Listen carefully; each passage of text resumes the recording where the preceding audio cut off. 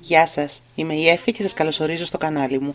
Ελάτε να κάνουμε συντροφιά και να περάσουμε λίγη ώρα ευχάριστα με μια νέα δημιουργία.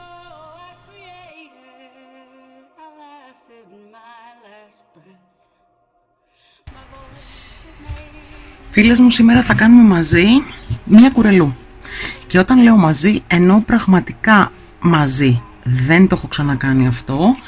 Θα το δοκιμάσω εδώ μαζί σας. Ό,τι καταφέρουμε, ό,τι καταφέρνω θα το βλέπετε κι εσείς βήμα-βήμα. Ελπίζω το τελικό αποτέλεσμα να είναι αυτό που φαντάστηκα.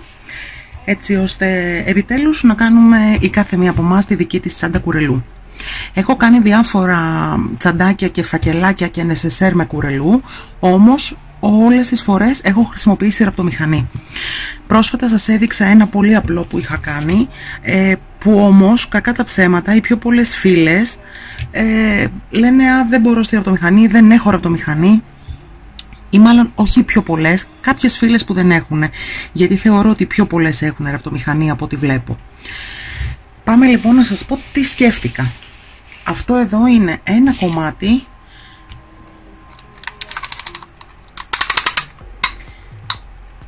«43 επί 31 περίπου 32 εκατοστά και ήταν ε, σουπλά από το μεγάλο παιχνιδό κατάστημα. Από αυτή την πλευρά που βλέπετε τόσο ώρα και βγάζω τις τριχούλες και από αυτή είχε τα κρόσια που έχουν τα σουπλά. Εγώ λοιπόν πήγα και κούρεψα τα κρόσια με το ψαλίδι και ε, επειδή κουρελού είναι πολύ ευαίσθητο υλικό, διαλύεται μέχρι να πει σκήμινο, πήγα και έκανα ένα γαζάκι zigzag στη ραπτομηχανή μου, εδώ στην άκρη, για να δέσω την τελευταία, το τελευταίο κουρελόνιμα με αυτό το τελείωμα που είχαν κάνει, που εγώ κούρεψα. Είναι το μόνο σημείο που προφανώς και μπορείτε να το κάνετε και με το χέρι πανεύκολα, ένα ράψιμο έτσι να κάνετε, το έχετε δέσει αυτό το κομμάτι από αυτή και από αυτή την πλευρά. Φυσικά οι φίλες που έχουν ραπτομηχανή ξέρουν πόσο γρήγορα μπορούν να κάνουν εδώ ένα zigzag γαζί. Από εκεί και μετά, για να τη δέσουμε με τον τρόπο που γνωρίζουμε εμείς, τον μπλεκτό, τον εύκολο τρόπο για όλες μας, σκέφτηκα να πάω γύρω γύρω γύρω γύρω και να κάνω άριχτα, ώστε να στρώσω και να ετοιμάσω το πάνελ μου με άριχτα κομμάτια. Οπότε μετά τι έχουμε, ένα μεγάλο πάνελ, το οποίο θα μπορούσε να είναι οτιδήποτε, δέρμα, πλεκτό, ύφασμα που έχουμε κάνει όλες, που όμως έχει τα περιμετρικά τα πλεκτά, κάνουμε τα πλαϊνά τα πλεκτά, τα ενώνουμε, το κομμάτι αυτό θα το στακάρω κανονικά όπως θα στακάραμε ένα οποιοδήποτε πλεκτό κομμάτι, με πλέγμα, με φόδρα, με όλα και έτσι ίσως να καταφέρουμε εύκολα και απλά να κάνουμε όλες τσάντα κουρελού. Έχω κάνει ήδη τη μία πλευρά από κάτω και τη μία πλαϊνή, η αλήθεια είναι ότι δείχνει λίγο περίεργα. Δεν μπορεί να στρώσει καλά το πλαϊνό μου. Όμως θεωρώ ότι και στο δεύτερο πάτημα που θα βάλουμε το πλέγμα θα γίνουν όλα ωραιότερα. Εδώ πάλι κάτι δεν μου κολλάει. Δεν έχει συγκεκριμένα πατήματα. Δεν είναι όπως είναι τα πλεκτά μας κομμάτια τα που περιμετρικά καταλαβαίνουμε περίπου που πρέπει να πατήσουμε. Ε, εμπειρικά εντελώς πάταγα και έκανα άριχτο εκεί που μπορούσα να πατήσω και έκανα τόσα ώστε να με καλύπτει και να μην τραβάει ή να μην είναι πάρα πολλά. Παραδείγματος χάρη τώρα εδώ στη γωνία μου δεν μου άρεσε, την ξύλωσα και θα κάνω περισσότερα άριχτα για να στρώσει, για να γυρίσει και μετά δεν πατάω εδώ πάνω πάνω γιατί φοβάμαι αυτό μην ξυλωθεί παρόλο που το έχω ασφαλίσει με το, με το γαζί zigzag.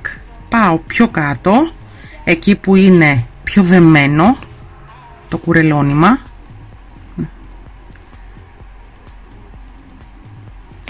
Πατάω ανάμεσα στις κουρελούδες και τραβάω όμως τον πόντο μου επάνω για να φτάσει να καλύψει αυτή την απόσταση.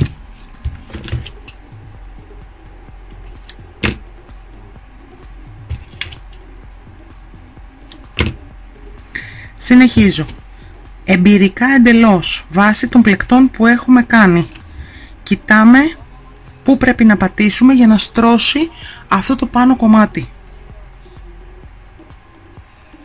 Σπρώχνω λίγο, έχω πάρει αρκετά λεπτό νήμα είναι το δελφίνο και βελονάκι νούμερο 3,5 για να μπορώ να μπω άνετα ανάμεσα στα κουρελονίματα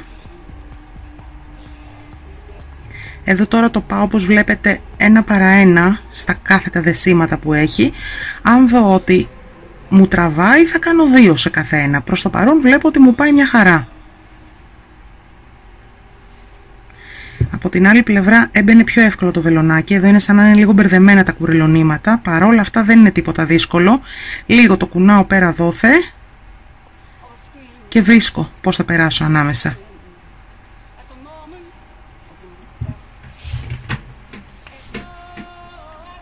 Εδώ θα κάνω άλλο ένα γιατί έχει μεγάλη απόσταση.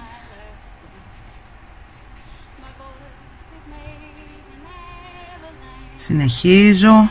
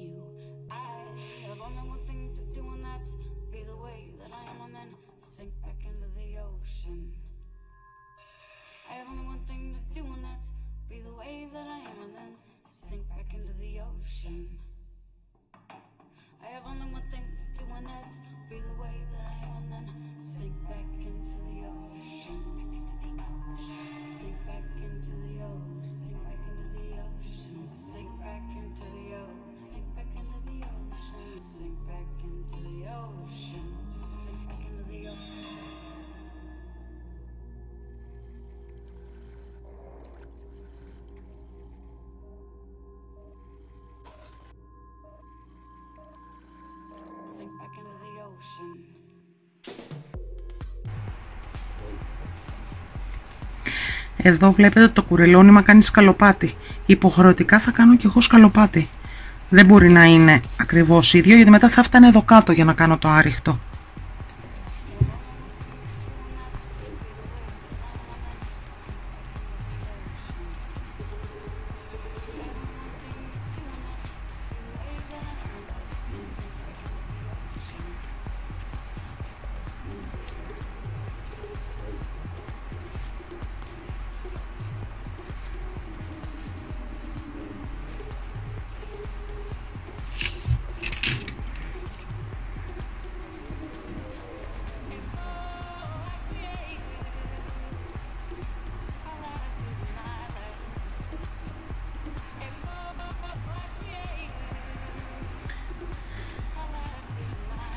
Στη γωνία συμπεριφέρομαι όπως συμπεριφέρομαι σε όλες τις γωνίες των πλεκτό πάνελ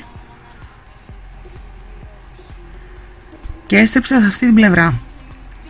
Αυτή η πλευρά, η κοντή πλευρά είναι πιο επίφοβη να μας μαδίσει, η μεγάλη πλευρά είναι πιο δύσκολη να γίνει από την άποψη ότι έχει τα χοντρά αυτά ε, που γυρνάνε, ε, παίρνουν στροφή για να κάνουμε τη δεύτερη σειρά το κουρελόνιμα.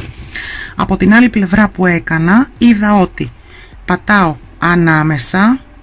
Εάν κάνω λίγο έτσι εδώ στη στροφή του νήματος μπαίνω κανονικά ανάμεσα βλέπω ότι μου τραβάει λίγο.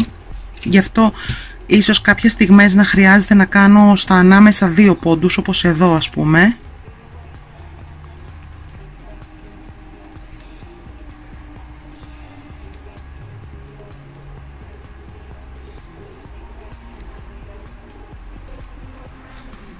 Εδώ βλέπω πιο μικρή την απόσταση, θα μπω ανάμεσα στο κουρελόνιμα, θα μπω εδώ. Ελέγχω, μη μου τραβάει.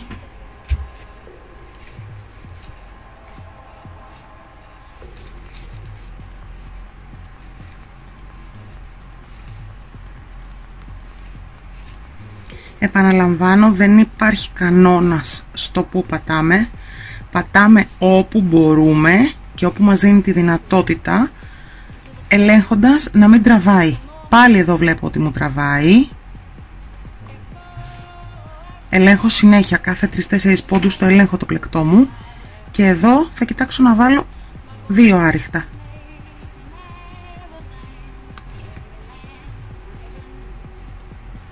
Εδώ είναι μεγάλο το κενό που έχει το κουρελόνιμα, άρα σίγουρα θα βάλω δύο. Συνεχίζω.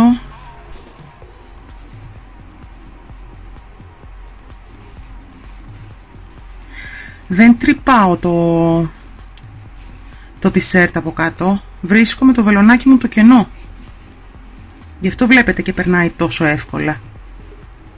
Σίγουρα θέλει κι άλλο εδώ.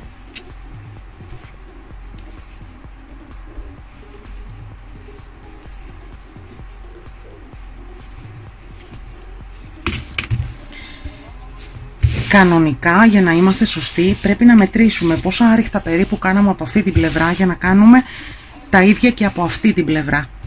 Εγώ θα τα μετρήσω και θα δω να μην πέσω πολύ έξω. Είπαμε ότι δεν είναι το ίδιο με ένα πλεκτό κομμάτι, αλλά καλό θα ήταν να μην έχουμε τεράστια διαφορά στις δύο πλευρές αυτές και στις δύο αυτές. Θα φτάσω μέχρι εδώ που ενώνουμε, που ξεκίνησα και τα λέμε εδώ.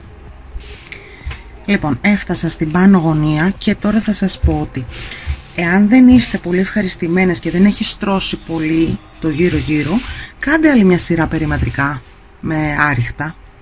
Εγώ τώρα θα πάω και θα ενώσω το πλέγμα μου επάνω. Επίσης, εάν νιώθετε ανασφάλεια και φοβάστε ότι σε κάποια σημεία μπορεί να σας ξυλωθεί, να είναι πιο ευαίσθητη, να έχουν φύγει κομμάτια, μπορείτε από πίσω εδώ τώρα, είτε όσες έχετε σπρέι κόλλας, να ψεκάσετε με κόλλα για να σταθεροποιηθούν όλα ε, δεν σκληραίνει, απλά θα κολλήσει τις κλωστές μεταξύ τους. Είτε να πάτε και να σιδερώσετε μία αυτοκόλλητη φορτέτσα, ε, το άλλο που βάζουμε στα πουκάμισα τώρα δεν μου έρχεται το όνομα. Γενικά να σιδερώσετε πάνω ένα αυτοκόλλητο ενισχυτικό ψηλό.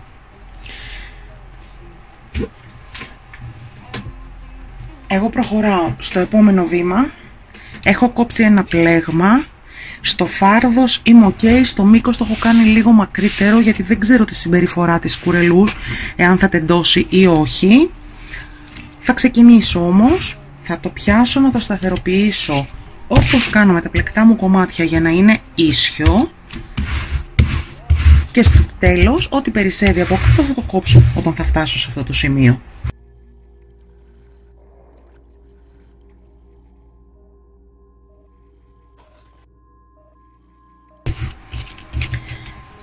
Με αυτόν τον τρόπο που είναι γνωστό σε όλες μας θα πιάσω το πλέγμα με την κουρελού.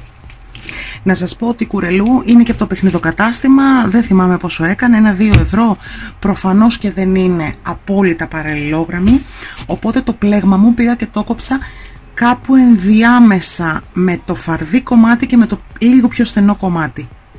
Εκεί που είναι το φαρδί λίγο θα το μαζέψω, εκεί που είναι το πιο στενό λίγο θα χρειαστεί να το τεντώσω για να την κάνω εγώ παραλληλόγραμμη βάσει του πλέγματός μου. Δεν νομίζω ότι χρειάζεται κάτι να σας δείξω. Από τη στιγμή που έχουμε στρώσει την κουρελού με άριχτα, είναι κάτι πολύ γνωστό σε όλες μας η περιμετρική σειρά. Πάω να ολοκληρώσω τη σειρά μου και να τα πούμε στο τέλος.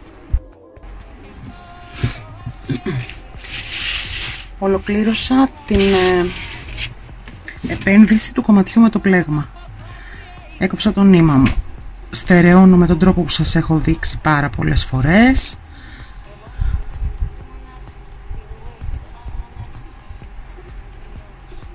Αόρατο το κλείσιμο. Από πίσω θα στερεώσω την κλωστή αυτή. Και το πλέγμα μου και η κουρελού έχει έτσι. Έχει αυτή την εικόνα αυτή τη στιγμή. Δείτε πόσο ορθογώνιο, ωραίο, ευθυγραμμισμένο έγινε. Γι' αυτό στην αρχή όταν είχε λίγο άσχημη όψη, ειδικά σε αυτά τα πλαϊνά, δεν ανησυχούσα, γιατί ξέρω ότι πάντα, ακόμα και το πλεκτό κομμάτι, αν έχει κάποιο λαθάκι, με τη σωστή ευθυγράμμιση του πλέγματος, τη σωστή τοποθέτηση, όλα στρώνουν και γίνονται όμορφα. Αφού λοιπόν τελείωσα, θα σας πω ότι επειδή το κομμάτι μου δεν είναι ιδιαίτερα μεγάλο, είναι μακρόστενο, θα κάνω όσο το δυνατόν πιο μικρό καπάκι μπορώ έτσι. Για να μην μου γίνει εντελώς φάκελος. Άρα τώρα θα βάλω σημάδια για να κάνω τα πλαϊνά μου. Με τον ίδιο τρόπο που κάνουμε πλαϊνά όταν κάνουμε μια πλεχτή τσάντα. Ε, επειδή λοιπόν δεν είναι πολύ μεγάλο θέλω να την κάνω λίγο πιο σταθερή ε, δεν θέλω να είναι μαλακιά. Αν ήταν μεγαλύτερη ακόμα θα την προτιμούσα λίγο πιο μαλακιά, να έχει τον αέρα της. Τώρα θέλω να το κάνω πιο σταθερό, άρα το πλέγμα εμένα δεν μου αρκεί. Γι' αυτό πριν βάλω την ε, επένδυση, θα βάλω ένα κομμάτι σάλπα, αυτοκόλλητη, κάτι τέτοιο τέλος πάντων που χρησιμοποιώ ως ε, σκληρυντικό έξτρα εγώ στις τσάντες μου. Με τον τρόπο αυτό θα κάτσει και το πλέγμα πιο καλά πάνω στο, στην κουρελού για να μην έχει αυτό τον αέρα που έχει τώρα που είναι φυσιολογικός. Άρα κάνουμε δύο πλαϊνά ανάλογα με το μέγεθος που θέλουμε να κάνουμε την τσάντα μας, την επένδυση και είναι έτοιμη. Συμπεριφερόμαστε στο κομμάτι αυτό όπως θα ήταν αν είναι ένα πλεκτό. Όταν θα κλείνατε την τσάντα σας, τι θα βάζατε; Θα βάζατε μαγνητάκια, θα βάζατε ένα κούμπομα, ό,τι θέλετε. Εγώ να σας πω την αλήθεια σκέφτομαι να βάλω ένα γλωσσάκι. Δεν είμαι σίγουρη όμως ότι αν με παίρνει στο μέγεθος, λογικά με παίρνει.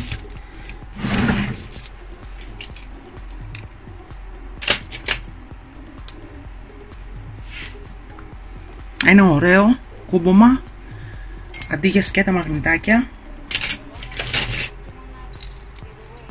δεν είναι ό,τι πρέπει θα δω λοιπόν τι θα μου κάτσει όμορφα και μένα στο μάτι και θα σας τη δείξω ολοκληρωμένη με την ε, σάλπα που κόλλησα επάνω την αυτοκόλλητη το κομμάτι μου δείχνει κάπως έτσι και έχει γίνει σαφέστατα πιο σταθερό, πιο σκληρό Είμαι έτοιμη να προχωρήσω στο επόμενο βήμα.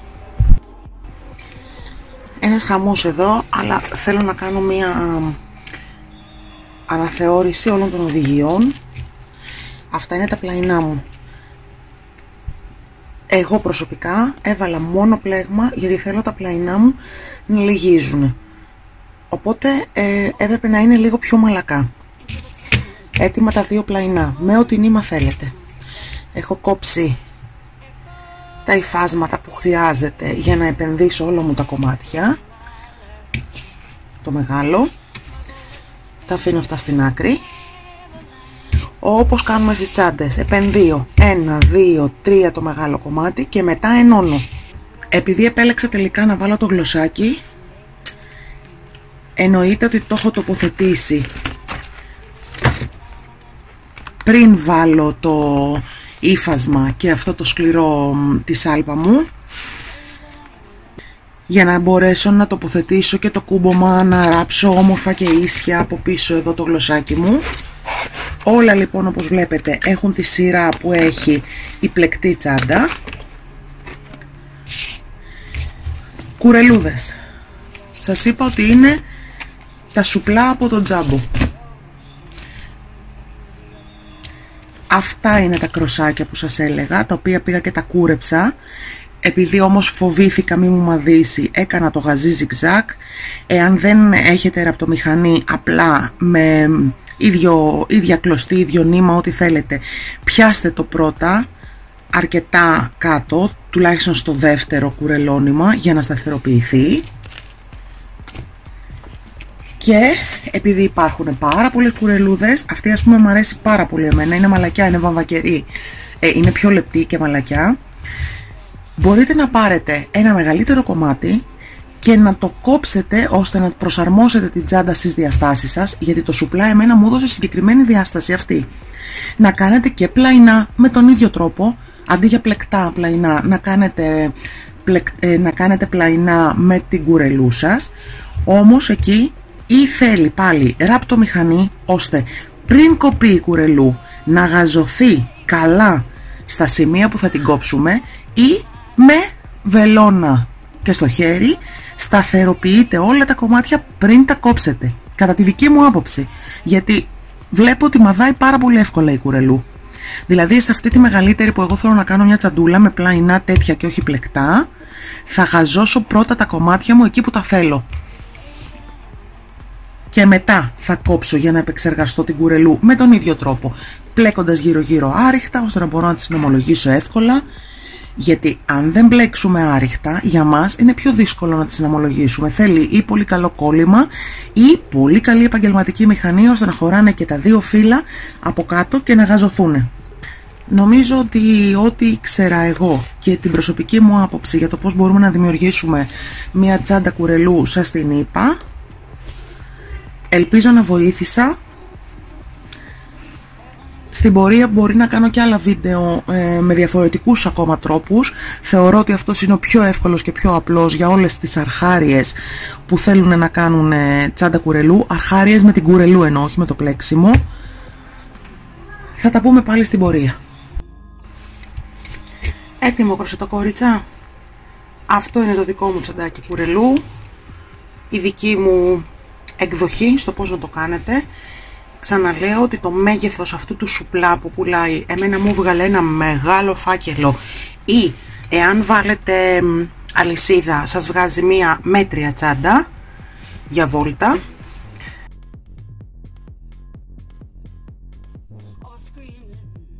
Για μεγαλύτερη τσάντα σίγουρα χρειάζεται μεγάλο, μεγαλύτερο κομμάτι κουρελού.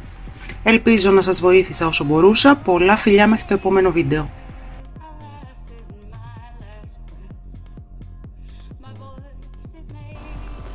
Εάν σας άρεσε το βίντεο, μην ξεχάσετε να πατήσετε like και να μου αφήσετε ένα σχόλιο. Εάν μόλις με ανακαλύψατε, κάντε εγγραφή στο κανάλι και πατήστε το καμπανάκι για να έχετε ειδοποίηση για κάθε νέο μου βίντεο. Σας ευχαριστώ πολύ που ήσασταν για άλλη μια φορά μαζί μου. Τα λέμε την επόμενη φορά με μια νέα δημιουργία.